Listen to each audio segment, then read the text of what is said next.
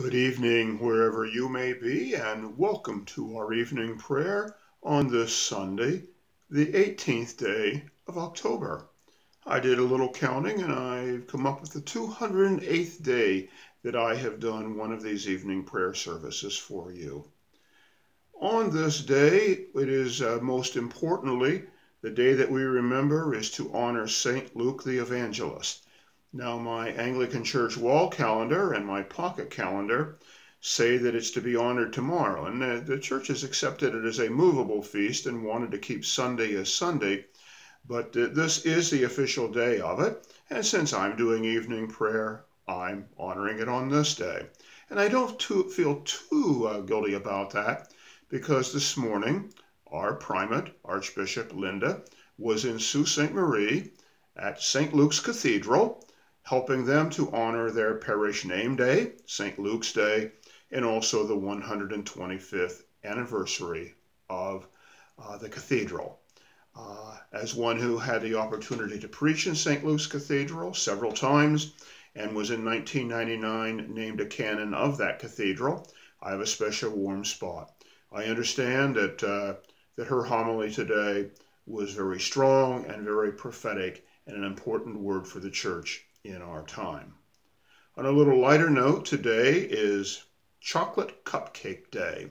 I mean, cake is good, cupcakes are better, and if it's chocolate with a nice thick chocolate icing, you're talking about really good product. So for you cupcake lovers, this is Chocolate Cupcake today, Day today. A little more seriously now, this is also Developmental, Developmental Language Disorder Awareness Day. Uh, it's uh, too many children have speaking difficulties, speech defects of one sort or another, and I think this is a special day to give thanks to the speech and language therapists who work diligently to improve children's speech abilities, especially in their younger years. And speaking personally, when I was in grade one, I went to speech therapy for part of that school year. I guess I was a stutterer and a stammerer back then.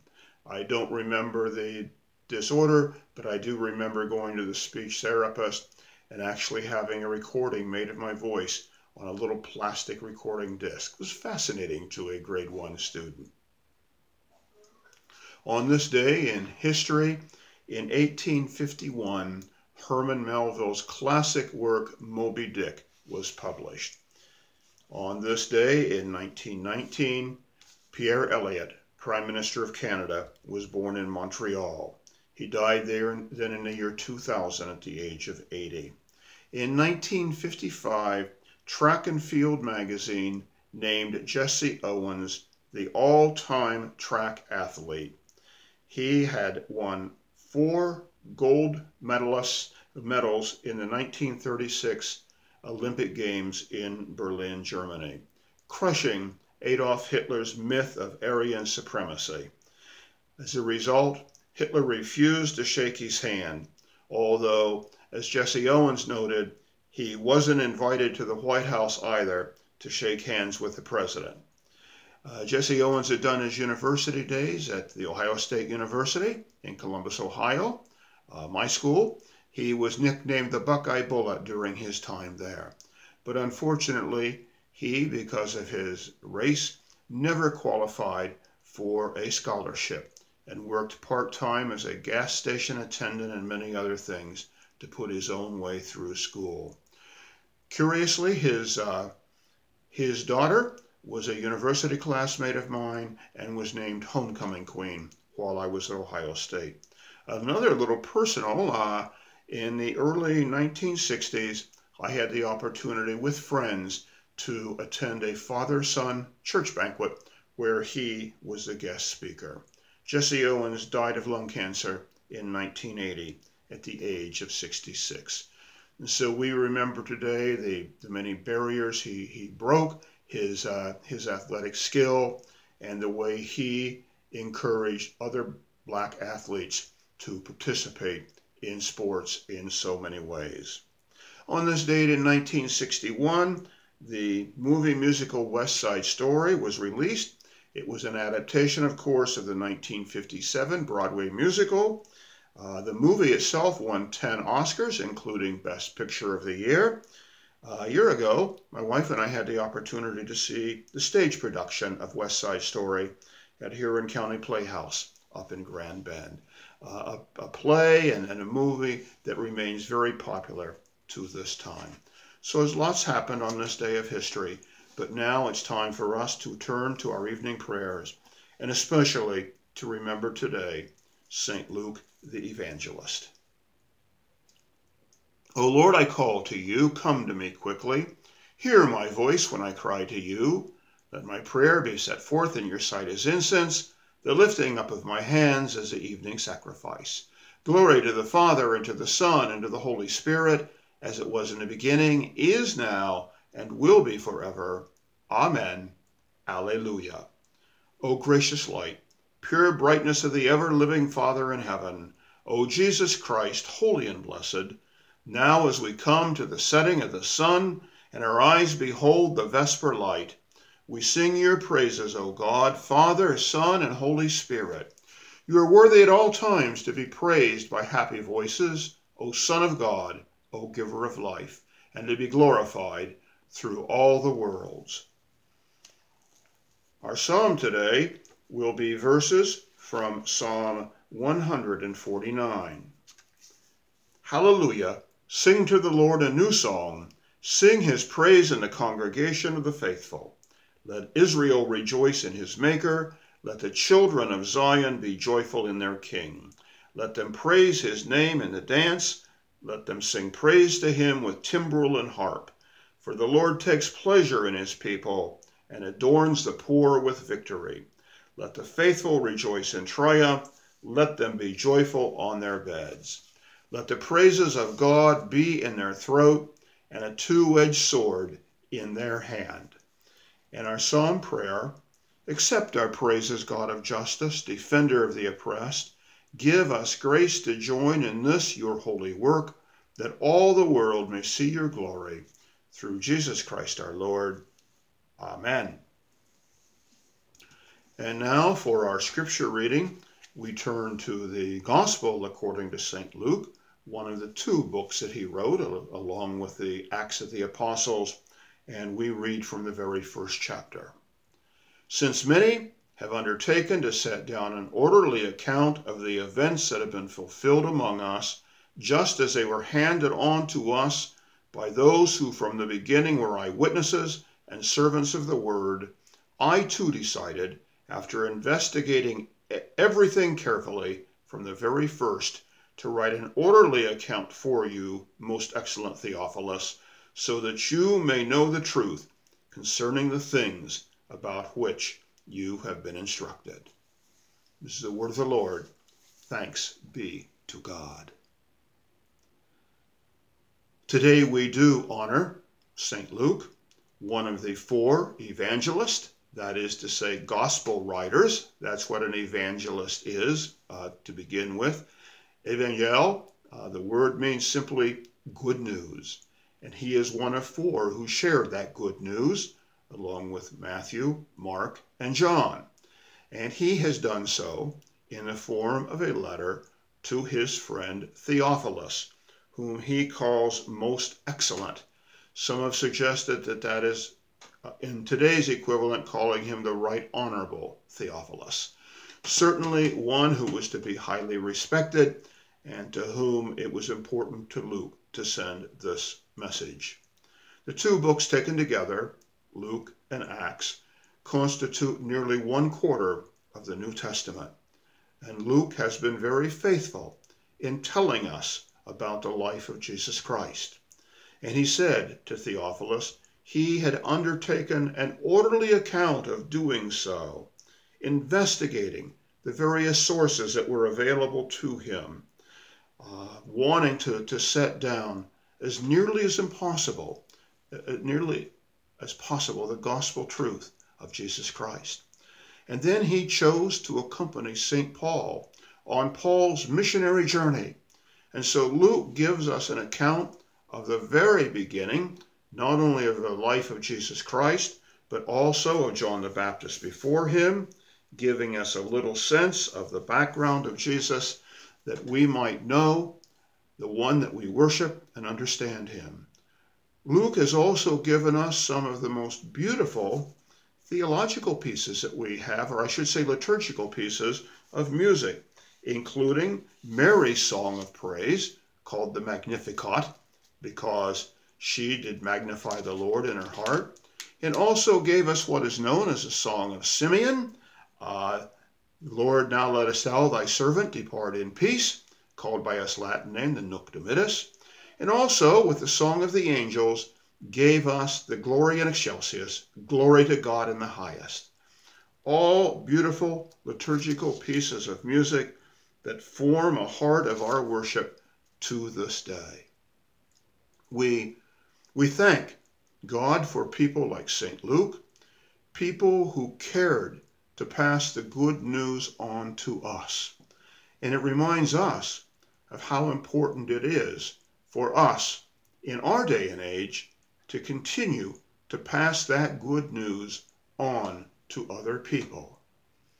The old gospel song, Oh, how I love to tell the story, because some have not heard the story of Jesus and his love.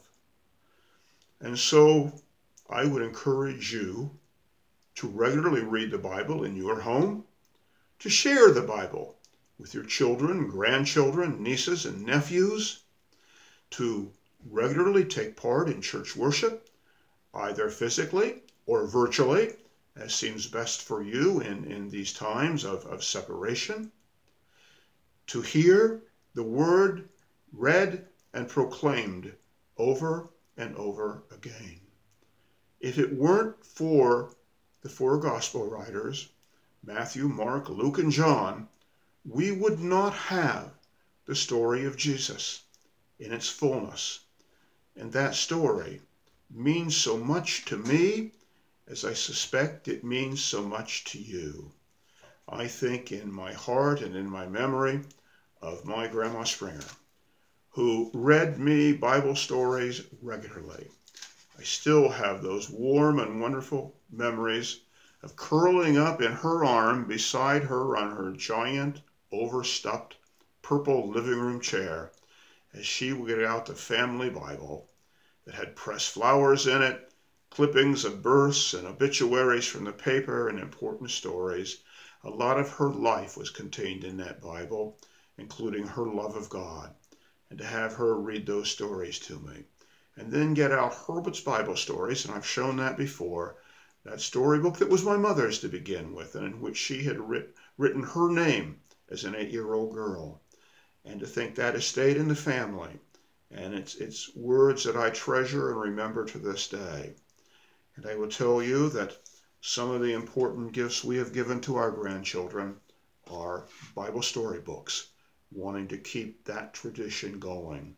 And the joy we have had when we've been able to bring our grandchildren to church with us here or attend church with them in Revelstoke, British Columbia where they live.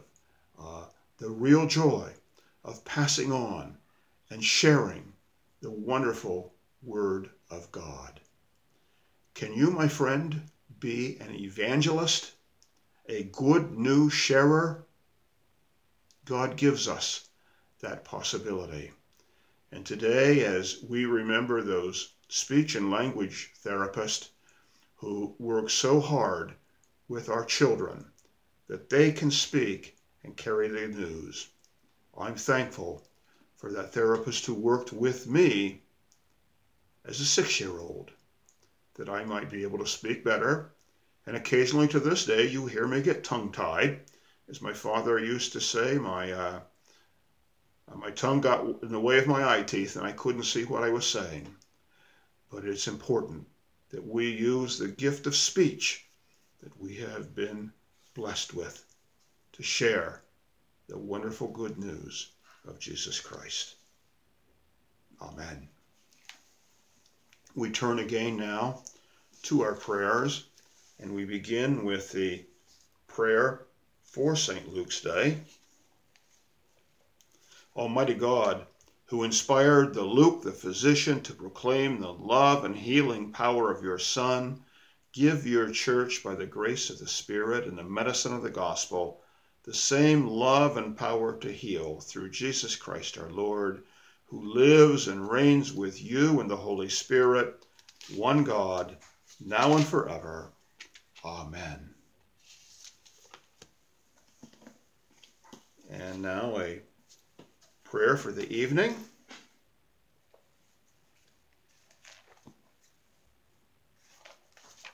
Maybe.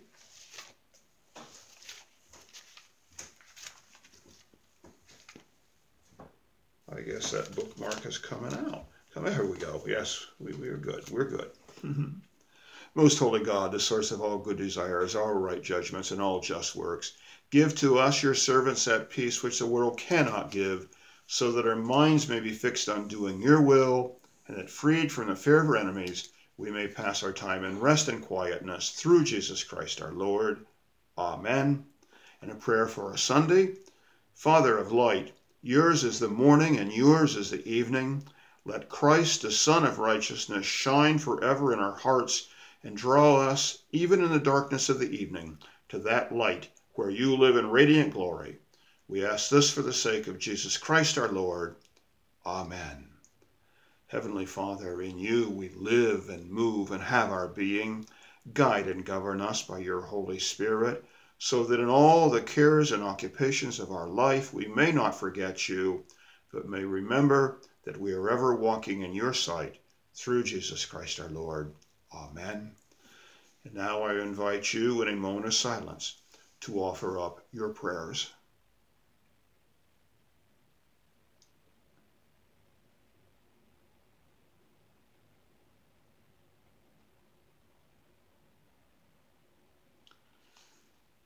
And now, in whatever language we are most comfortable speaking and in whatever form we desire, we offer the prayer that Jesus taught us Our Father, who art in heaven, hallowed be thy name.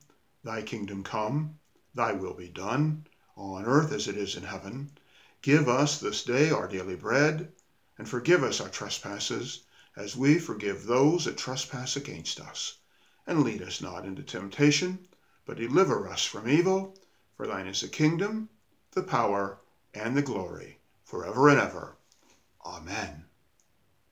And now may the peace of God, which passes all understanding, keep your hearts and your minds in the knowledge and love of God and of his Son, Jesus Christ our Lord. And may the blessings of God Almighty, the Father, the Son, and the Holy Spirit be amongst you and remain with you now and forever, through Jesus Christ our Lord. Amen. Go now in peace to love and serve the Lord. Thanks be to God.